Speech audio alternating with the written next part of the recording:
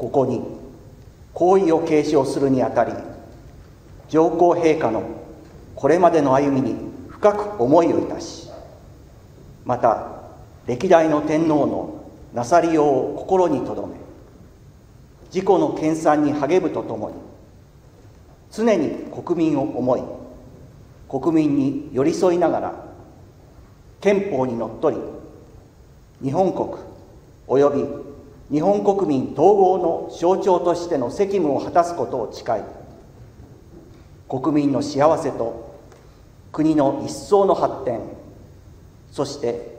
世界の平和を切に希望いたします。